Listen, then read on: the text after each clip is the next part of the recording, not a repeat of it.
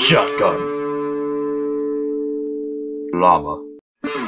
Hey everyone, what's going on? Here we are at Shotgun Llama, and uh, today I'm going to try to show you how you can play console games on your PC, or Mac, or Linux, or desktop computer, or laptop computer. Computer, in general, just computer, not on the console. So, for this tutorial, I'll be showing you, in particular, a Pokemon game on Game Boy Advance, let's say. So I'm going to open up my folder, here, No$GBA, program I'm going to use for this. Find a game, I have a bunch on here. Let's go, uh, have them all in here. Let's say I want to play Pokemon Emerald. That is one of my favorite games, so I go to the emulator. I'm going to use No$GBA, like I just said. Open it up. It'll ask me to bring up a uh, ROM. So I'm going to navigate to the folder of the ROM, load it up,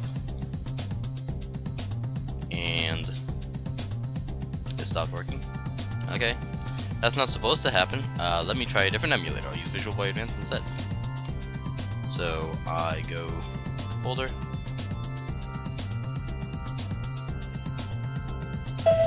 There we go. That works much better.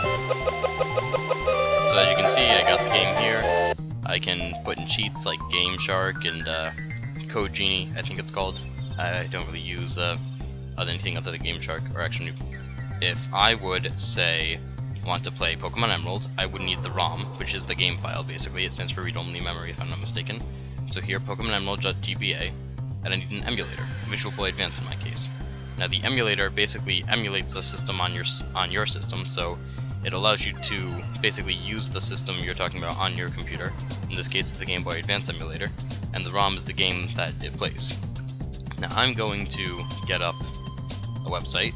Let's uh, think of an. Let's just say if you wanted to find an emulator for Game Boy Advance, have an GBA emulator. You'll get a bunch of results, and just choose whichever one you want. Download it, install it. Um, the instructions vary for each emulator. And then if you want ROM, you can go to say emuparadise.com for example. It's emuparadise.me, that's why it happened. So coolrom.com, and you can just type in here any game you want. I don't know, let's say Pokemon Platinum. I mean, it's technically Nintendo DS, not Game Boy Advance, but still. You see, it's here, Pokemon Platinum Japan, Hack, and the actual Pokemon Platinum.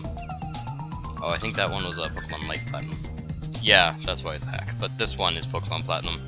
It's just the normal Pokemon Platinum. Removed due to copyrights. Okay.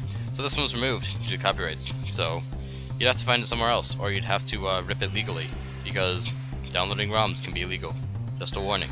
I'll put that in the description. I'll also have some links in the description for you to find things. But then you just go to wherever you installed it, open up your emulator, and let's say I want to do a Nintendo emulator. No, I can't because I don't want to bother with Nintendo. My computer is really not a gaming computer. It is just a little laptop, 8 gigabytes of RAM, Intel i3 processor, I think, an Intel HD graphics card, nothing great, but it can emulate up to like 5th generation gaming consoles perfectly, and it can emulate 6th gen consoles kind of iffy, but usually okay. Once you get a 7th and 8th gen consoles, and by the way, 7th gen is a PS3, Xbox 360, and the Wii. 8th is a PS4 and Xbox One, Wii U.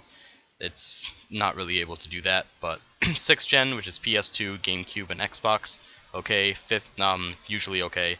5th gen, Nintendo 64, original PlayStation. Um, I haven't actually tried Sega Dreamcast or Saturn because emulators for those are a little rare, but it does that all fine. So you don't need a very special computer to do any of it.